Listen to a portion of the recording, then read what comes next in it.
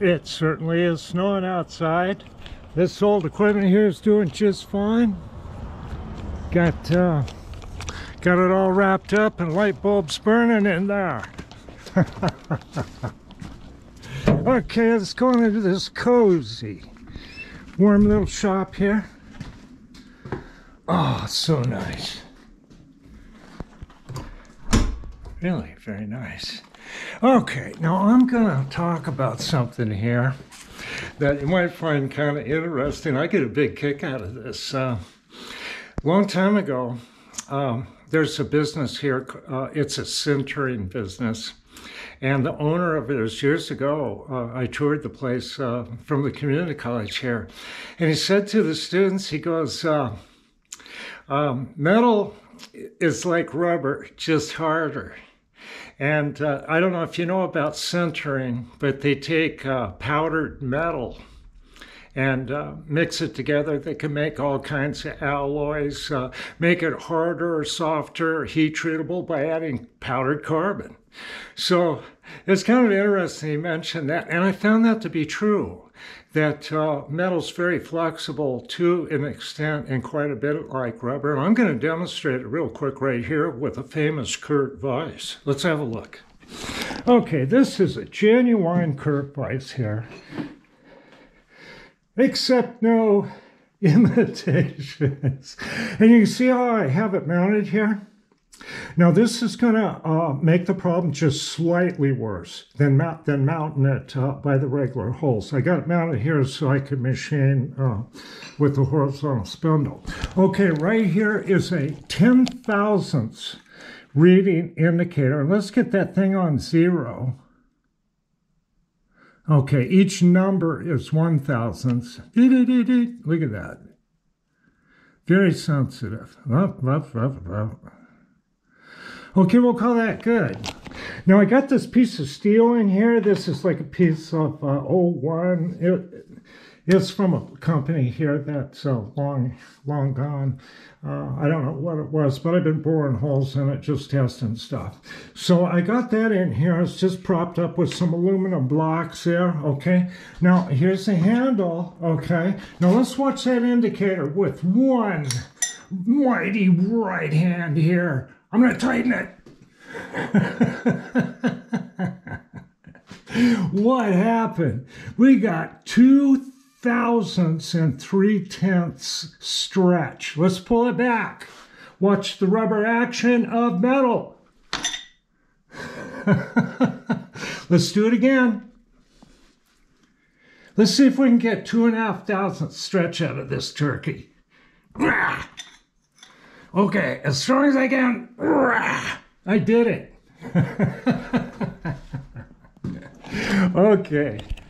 Well, you can sweat and you can toil and you can um, tram that thing in the best you can, but it's still going to stretch on you.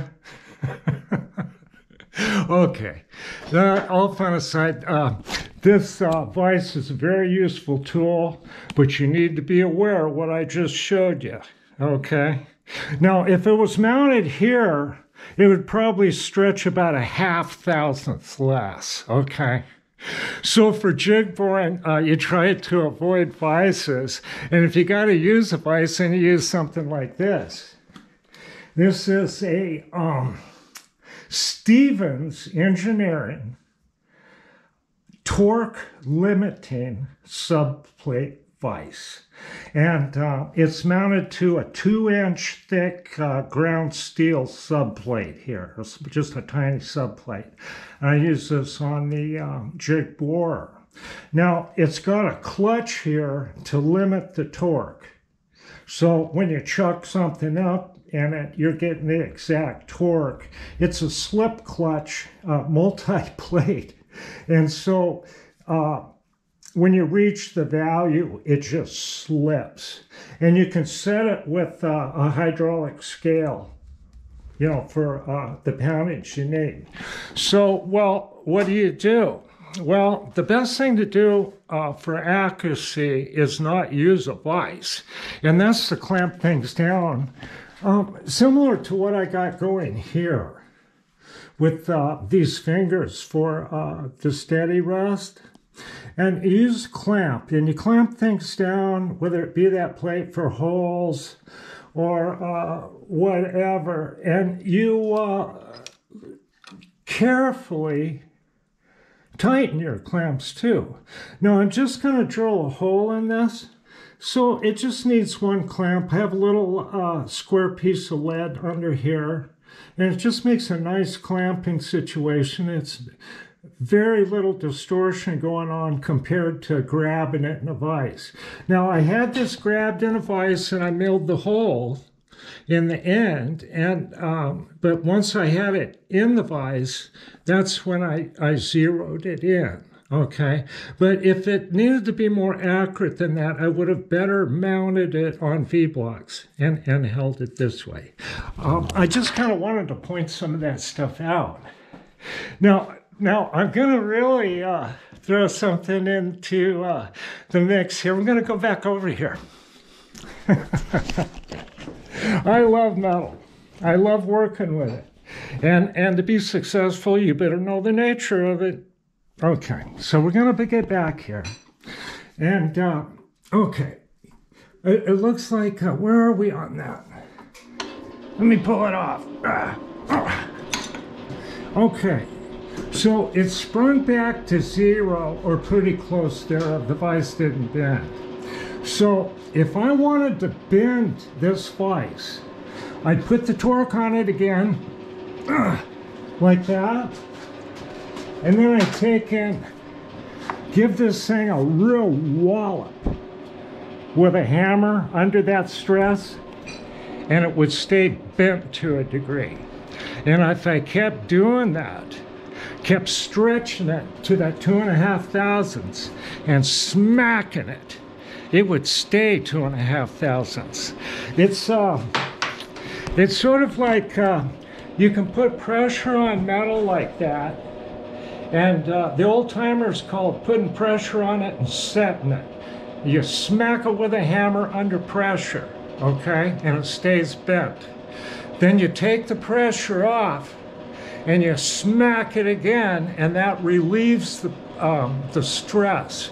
And it'll bend back to towards being straight, but not all the way.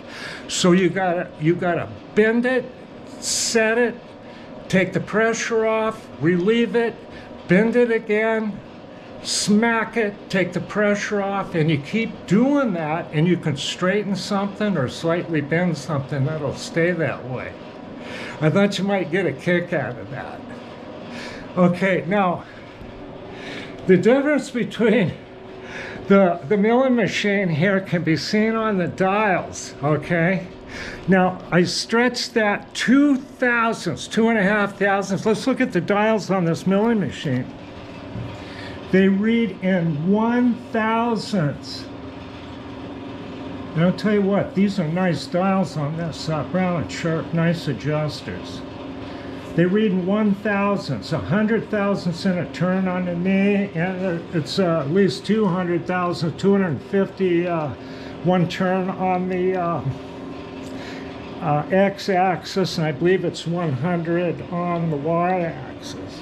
So we get over here to uh, the jig boring machine, and we can see that um, the uh, it's 100 uh, thousandths per turn and then it's got a vernier here to read in tenths of a thousandths so right off the bat the jig bore discrimination is 10 times more accurate than the milling machine. But the milling machine is a very very important item and uh, and uh, uh, to get you to the point to use the jig bore machine because we need the milling machine to rough out the pieces for finishing on the jig bore machine. Okay? All right, I'll be back. I'm going to drill some holes here. And uh, this is the setup I've got. And uh, I've got a, um, uh, a ground piece of steel in this table slot here and I got this table trammed into the machine so it's easy for me to clamp this on some V-blocks slide it against that uh, stop and then clamp it And of course, I, I showed in an earlier um, video how I uh, came to uh, level this or index it. Okay, we'll be back soon.